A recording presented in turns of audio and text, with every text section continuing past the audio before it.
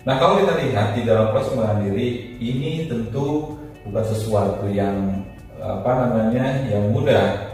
Kalau kalau survei singkatnya gitu ya, kalau saya sering tanya pada beberapa teman gitu, tidak tidak banyak orang yang menyiapkan biaya untuk e, pengembangan diri, entah sifatnya pribadi atau entah sifatnya perusahaan. Tetapi bagaimanapun itu, kalau kita melihat hal yang e, penting di dalam pelayanan, ada perbedaan dalam pelayanan itu pasti melalui dunia training. Ya, contohnya saja misalnya kita tidak melihat yang dari diri dulu ya, security saja yang mungkin teman-teman eh, apa bisa membedakan mana security perusahaan A, perusahaan B atau dari misalnya dari bank atau dari yang lain tentu ada perbedaan. Perbedaan di antara pemberian pelayanan security saja itu bukan sesuatu yang tiba-tiba ada bukan bawaan dari uh, dari dia sebelum dia masuk itu pasti melalui training. Nah oleh karena itu Matador Training Academy berkomitmen ya mempunyai komitmen yang uh, yang kuat bahwa masyarakat saat ini atau mungkin uh, apa namanya terdahulu juga uh, memerlukan pengembangan diri sehingga di dalam uh, perjalanannya mampu bersaing, ya, mampu bertahan dengan berbagai macam tantangan dan perubahan. Ya, seseorang itu akan berubah hanya ada dua hal sebetulnya. Yang pertama adalah memang ada niat dari dalam dirinya bahwa itu perlu dia berubah atau karena lingkungan luar. Nah, lingkungan luar ini akan memaksa seseorang itu untuk berubah.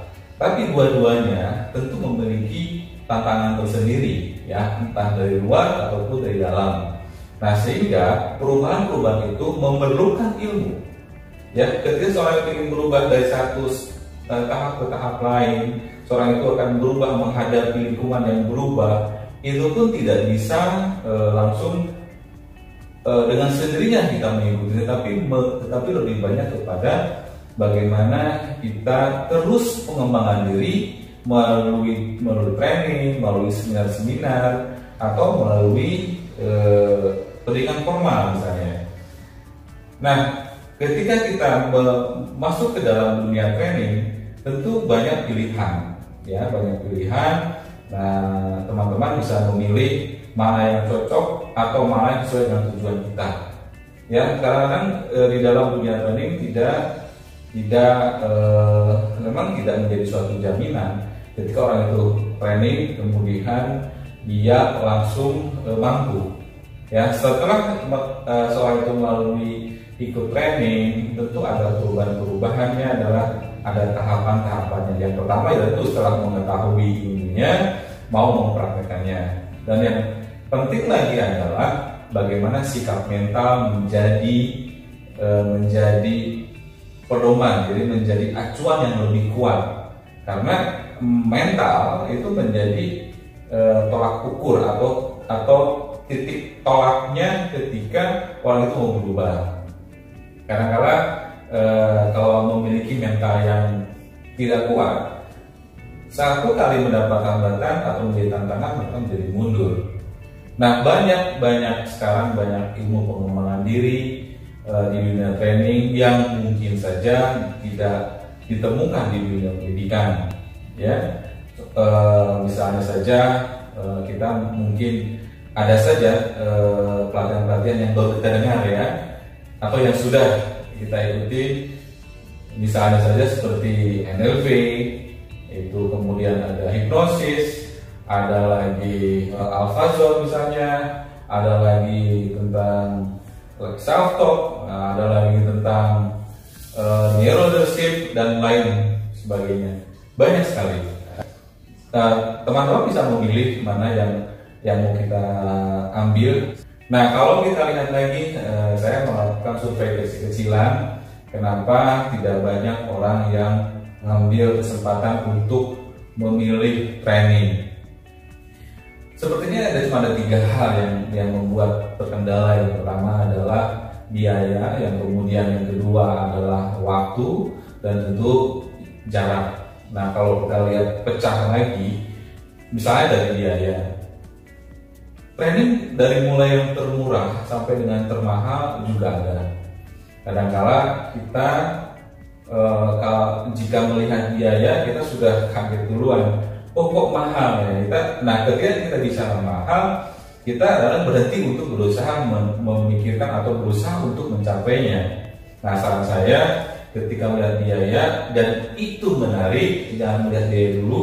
Kembali bagaimana caranya kita mendapatkan biaya untuk dapat mengakses training itu. Jadi bukan berarti kita melihat uh, info training kemudian ada dananya, uh, lihat harganya berapa dan nampak aduh kok mahal ya. Jangan dulu ya. Jadi teman-teman bisa uh, apa? catat dulu gitu ya, tangankan dulu, niatkan dulu dan setelah niat kita bisa mencari cara bagaimana mendapatkan uh, biaya untuk mengikuti training tadi. Kemudian uh, dari sisi misalnya jarak ya sekarang training uh, sudah berkembang ya apalagi bicara jarak uh, kita uh, apa namanya pernah dengar mungkin ya uh, apa kejarlah ilmu sampai negeri Cina gitu ya. Orang sudah jauh orang sudah sampai ke negeri Cina itu sendiri ada ya. Sampai ke Amerika juga ada. Nah kadang-kadang jarak bukan bukan menjadi suatu uh, bukan menjadi suatu alasan karena dekat juga ada gitu ya. Yang dekat juga ada tapi saat jarak itu menjadi alasan dekat aja kan tidak mencapainya ya jadi ada keengganan untuk untuk uh, pergi karena alasan jarak. Yang ketiga waktu gitu ya. Yang ketiga waktu melihat jadwal training kemudian langsung mencocokkan dengan jadwal kerja dan disimpulkan langsung wah nggak bisa deh gitu ya. Nah tiga poin ini eh, jangan dulu Eh, kita langsung dibenturkan kepada apa mindset yang akan menghalangi kita untuk melangkah. Apa pun itu, uh, lihat dulu uh, apa training apa, kemudian uh, cocok untuk pengembangan diri diri Anda. Jangan dulu di stop. Ya, setelah itu catat kemudian Anda berupaya menemukan bagaimana mendapatkan uh, biayanya kemudian bagaimana caranya untuk mendapatkan uh, izin misalnya waktunya dan juga bagaimana mendapatkan jarak ya nah, saya satu hari saya pernah ngobrol dengan dengan teman-teman saya ketika ada pelatihan mungkin uh, yang terlalu jauh di Jakarta. Apa pertanyaan yang pertama mereka katakan mereka banyak bicara begini e, jauhnya pak. Ya terus mereka juga bilang dengan siapa nanti kita berangkat? Hari ini sudah tidak alasan itu tidak bisa dipakai lagi. Kenapa? Gampang. Sekarang sudah banyak akses ya ke mana-mana. Sekarang sudah banyak aksi online ya. Sudah banyak artinya sudah akses kendaraan sudah lebih mudah. Hanya tinggal ketika kita ada keinginan kita berangkat kemudian pesan taksi dan diantar sampai tempat. Jadi tidak tidak menjadi e, gangguan kita untuk memutuskan berangkat. Banyak. Dan saat ini sudah mulai berkembang bagaimana training itu menjadi online ya. Ada yang online itu ada yang ya WhatsApp, ya mungkin beberapa teman-teman pernah ikutin bagaimana belajar melalui WhatsApp. Kemudian eh, ada juga melalui webinar ya. Apalagi saat ini ya, ini kita bisa pada saat ini kondisi negara kita, wilayah kita menghadapi pandemi ya banyak yang sekarang berkembang dengan aplikasi Zoom Artinya sebetulnya saat ini banyak akses untuk mendapatkan uh, ilmu melalui training, entah itu bentuknya seminar atau bentuknya pelatihan. Itu uh, kita dengan mudah mendapatkannya tidak mesti berangkat, ya, tidak mesti uh, kita keluar rumah, cukup siapkan handphone atau siapkan laptop dan kita bisa mengikuti, gitu ya. Jadi uh, kembali ketiga hal tadi rupanya kalau kita lebih dalam lagi bukan karena jaraknya bukan juga karena waktunya bukan juga karena uh, apa uh, biaya tapi terlepas semua ada yang ada yang latar belakang yaitu mindset.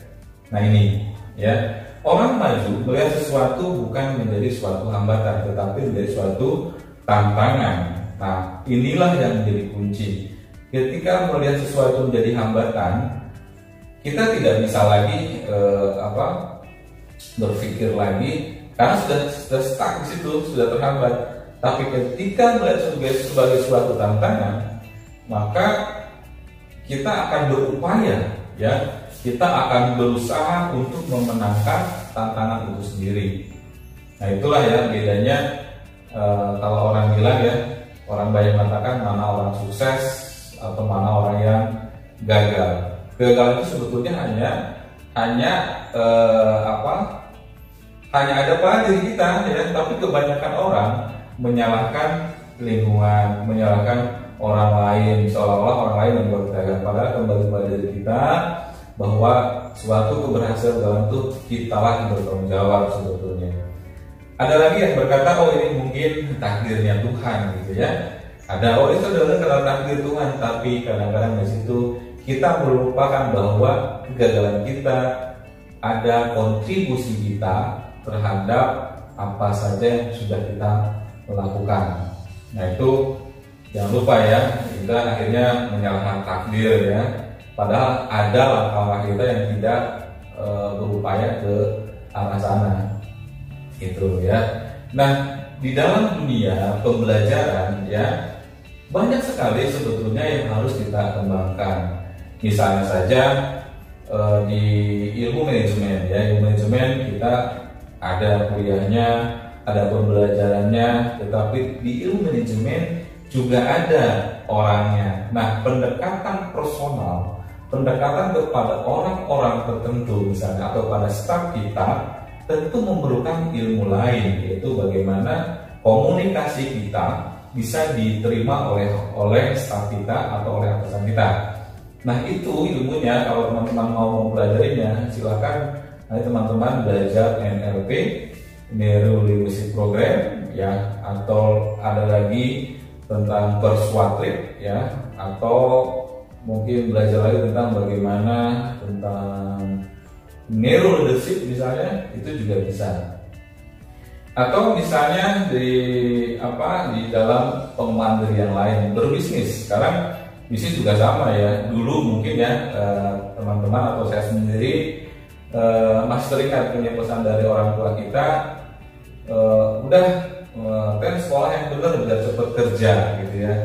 Nah sehingga apa? Akan tertanam di diri kita bahwa kita harus sekolah benar dan jadi pekerja. Akhirnya kita jadi karyawan ya bukan menjadi pengusaha gitu. nah saat ini dunia itu sudah berubah ya kadang-kadang apalagi yang sekarang ya sudah zaman uh, 4.0 udah teknologi tinggi pekerjaan bukan menjadi pilihan sekarang ya. Banyak orang yang ingin berubah menjadi uh, pengusaha dan sekarang sudah banyak ya uh, apa namanya cara-cara dengan cara digital. Saat ini orang punya perusahaan tidak perlu memiliki kantor yang uh, banyak ruangan perlu memiliki kantor dengan ber, bertingkat-tingkat gedungnya cukup ruangan kecil dan mereka bisa mengakses semua bisa saya pekerjaan semua melalui era digital ya dan itu pengembangan juga. Berikutnya bagaimana pengembangan itu menjadi berdampak kepada diri kita juga? Ada pengembangan e, saat ini yang sudah dikenal juga tentang e, parenting. Parenting juga sama nah ada permasalahan di dalam e, parenting atau misalkan sebagai orang tua. Di awal mungkin sebagai pasangan yang baru punya anak gitu ya pasangan muda yang baru punya anak belajar mereka bagaimana cara memandikan belajar kemudian bagaimana merawat anak. Ketika anak mulai mandiri orang tua berhenti belajar nih ya. Akhirnya menjadi suatu kondisi yang yang tidak berimbang. Saat anak mandiri dan terus mengembangkan dirinya ya dan akhirnya anak mulai tingkat perkembangan tertentu orang tuanya berhenti. Belajar sehingga apa ada gap antara orang tua dengan anak. Nah hati-hati ya. Ketika kita bicara bagaimana eh, apa namanya pengembangan diri pada anak tentu ada cara-cara juga. Karena kita biasa menghadapi anak dengan eh, apa namanya dengan ilmu-ilmu yang kita dapatkan secara alamiah bisa jadi berasal dari orang tua kita yang mendidik kita gitu ya. Tidak melalui training-training. Saat ini berkembang sebetulnya sudah banyak uh, training-training melalui uh, online ataupun langsung tentang parenting. Jadi uh, ya sampai saat ini tidak ada sekolahan yang yang mengajarkan sebagai orang tua tetapi ada training untuk uh, menjadi orang tua yang baik ya dan bicara kalau bicara sebagai orang tua tentu uh, bicara di sini adalah bagaimana mendidik anak dengan baik. Uh, ya kalau apa namanya kalau usaha bisa gagal tapi kalau mendidik anak yang sampai gagal. Nah, itu contoh bagaimana sekarang pengembangan pengembangan training dalam berbagai bidang. Nah kembali ke uh, apa ke Matador Training Academy uh, berupaya ya kita mempunyai komitmen apa pun kebutuhan uh, training ya training uh, untuk pengembangan diri atau yang lainnya maka akan akan banyak menyiapkan uh, berbagai macam materi ya dan Matador memiliki uh, akses banyak kepada berbagai macam trainer yang dari mulai trainer pemula sampai dengan trainer-trainer yang sudah uh, tingkat nasional.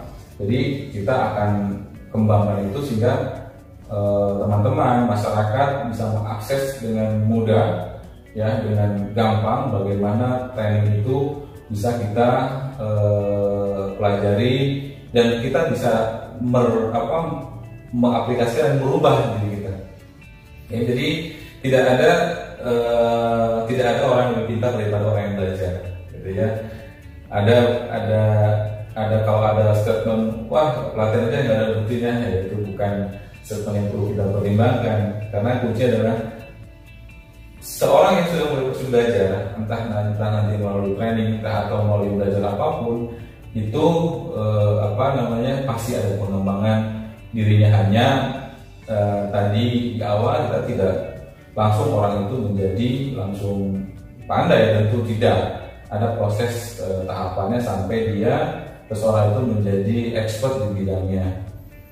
Nah itu eh, apa namanya sekilas dari saya bagaimana pengembangan diri melalui dunia training atau melalui dunia singkat atau bahkan melalui dunia pelatihan. Meskipun ya hari ini mungkin eh, teman-teman eh, mendapatkan kesulitan atau kondisi eh, pesan dari Academy tetap luangkan waktu anda eh, cadangkan eh, dana anda ya siapkan uh, segala sesuatunya untuk mengakses dunia training sehingga berdampak kepada perubahan kehidupan kita di kemudian hari. Uh, itu saja, sampai ketemu nanti di video-video berikutnya. Selamat siang, assalamualaikum warahmatullahi wabarakatuh.